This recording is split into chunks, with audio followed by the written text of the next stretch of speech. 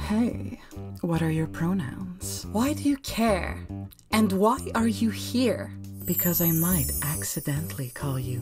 I'm calling the guards.